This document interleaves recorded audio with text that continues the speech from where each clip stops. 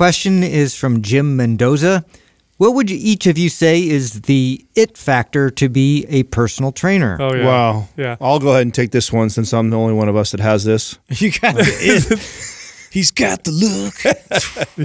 He's got the look. You know, when I think of the it factor, I'm thinking of the one thing that will, you know, most guarantee not there's nothing that'll guarantee success, okay?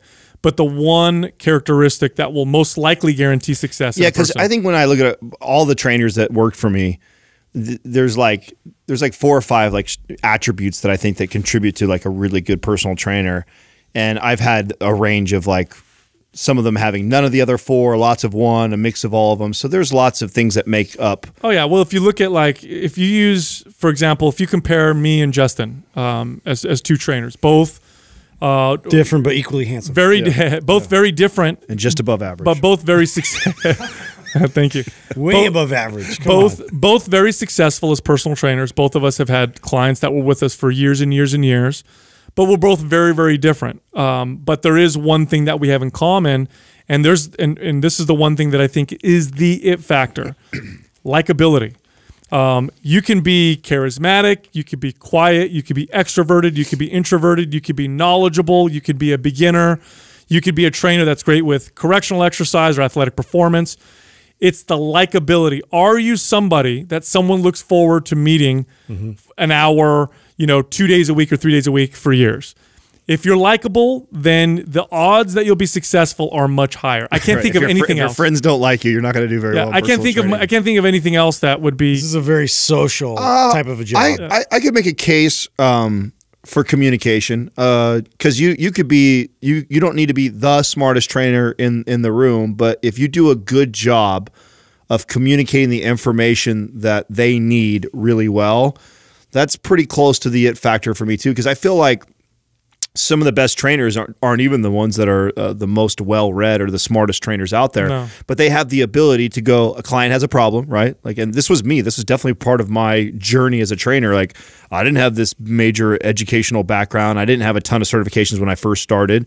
You know i was just up and coming and i would run into an issue the client would have something that i'd never done dealt with before and I would say, you know, I don't know, but let me find out for you and I'll get back to you. And then I would go home and then that's what would cause me to start reading and hmm. learning. And then I would be able and what I could do really well is I could read a bunch of dry material and get the gist of what I needed to do for that person and then I'd be able to come back and communicate that information. Yeah, And that, then- that's what would make you an effective trainer. That's for sure. Right. Definitely what would make you an effective trainer is being able to communicate. Because at the end of the day, your goal is to get the client to change uh, behaviors. And the only way to do that is to be able to communicate your ideas uh, well enough to where they want to really but you're adopt right. them. If you if you're not likable, no one's showing yeah. up. no, you have to be. You know, You got to relate to them. You got to be able to relay this this information and communicate it in a way where they're actually going to be able to absorb it. Like you can't just just hammer them with information that you know they're not going to apply. It has to be. It has to make sense to them. Yeah, well, think about it this way. Like, here's a per. I mean,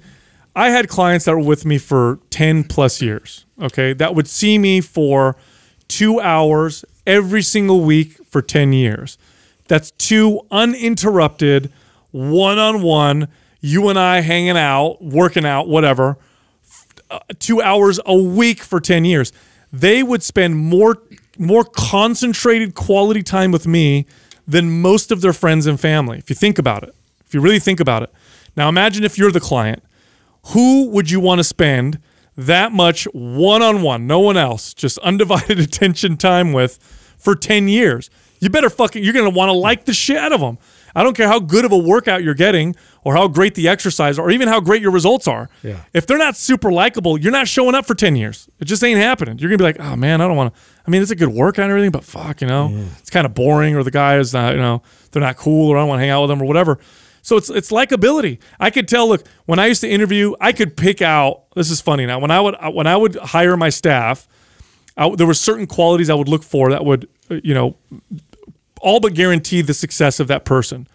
And the one thing, because I worked in a gym, and this is true for every, almost everybody in the gym, except for people that didn't have to work with people too much, too much, like if you're cleaning my gym or whatever. But if you're my front desk, if you're my salesperson, and especially if you're a trainer, when I'm interviewing you and I'm asking you questions, the number one thing I'm paying attention to is, do I like this person? Mm-hmm. Does this person seem like a likable person? Because when I would hire a very likable person, I knew that I could teach them all the other shit. Mm-hmm. But when they were likable, I was like, man, people are going to want to buy memberships from you. They're going to want to train with you. They're going to want to show up. If they check into the gym and you're a likable front desk person, they're going to love checking in. Uh, that was always the number one. It's, it's number true because when. I look back at all the all the trainers that I trained too, the more likable you were too, the the more often you were the more successful trainer too. Mm-hmm. Not just if you would be successful, but if you were really well liked, where your peers liked you, the people. That's that- what I mean. If everybody liked you, like Yep. You know, you did really well. yeah, and I, I would- I think that's a recipe for success in life. Totally. Pretty much. Totally. what I'm saying? I don't think it's just personal. Some people training. miss that. Yeah, Totally. That's, that's unfortunate. Now, how do you? Now, here's a question: How are you? How do you become a likable? yeah that's a person. good, that's a real that's a i think that's a, a good good question to ask because you know there's certain things that um, you see these type of people do like behaviors that other people knew. like a, a simple behavior that uh, likable people do is they smile when when they, people talk to them. They look engaged with the conversation like genuinely engaged in the conversation like and interested in what you have to say. I'm not looking at my phone or looking off. I don't have like a weird look on my face. So i think being approachable and being interested and I think that's where I kind of lucked out as a as a young trainer was I was just a curious kid as it was. Um, I smiled a lot. I was pretty happy, and you know, if somebody was giving me their attention and talking, I was interested. You know, Yeah. I I mean, listening is a good one. Uh, being empathetic, actually, and I'm talking just specifically as a personal trainer, because there's things that make you likable just as a human being. But as a personal trainer, do you do the does the client actually feel like you care? Like this person, act, like my trainer actually cares about me. Like that's a that's like when your doctor. You know, when you go to your doctor, you ever have a doctor where you feel like, man, this doctor really gives a shit about me. That makes them likable as a practitioner. It's it's hilarious because I used to make fun of these life coaches, you know, in quotations. I was like, "What is a life coach?" You know, like what are you teaching them? You know, like that's going to impact them so much. It's going to transform their life. Uh, but that's like what we do the entire time we're training them. We're just yeah. talking about their life and they're relaying, you know, everything that's happened, their feelings, like working through all this stuff as they're working on self improvement. And it's having somebody there to communicate with along that journey. It's so valuable to them. Yep. And the reason why I wanted to say I, I want to you know hammer this home is because I've had trainers that were very charismatic. Um, charisma is different. Uh, charisma is you know we all know what charisma looks like. Then I've had trainers and, and staff that were not nearly as charismatic, but also extremely likable, and they were all very successful as long as they applied all the other things too, like you know being hard workers and constantly trying to grow. Yeah. But that's it, man. If I had to list one thing right there, and I'll tell you what, remove that, you could have all the other attributes. You could Oh, be how many how many trainers did you have? How many PhDs and Mm-hmm. masters and bachelor degrees did you have that worked for you that were just not like nobody liked them? Yep, and they sucked. They were terrible. Nobody's going to hire you Yeah. at all. You're not a robot. and your peers don't help you. You know what I'm saying? And then and then personal training is one of those businesses too where Yeah. you want to be liked by your peers because there's a lot to learn from everybody that you're working with inside of a facility, especially if you're working in a gym where there's multiple trainers. Mm-hmm.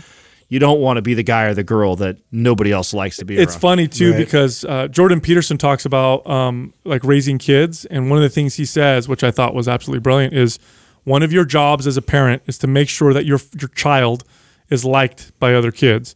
Because if they learn that skill as a child, that they're likable, the odds of success in life are through the roof. If the reverse happens, the odds of uh, having uh, you know a bad life are much higher. So oh, likability is an important factor.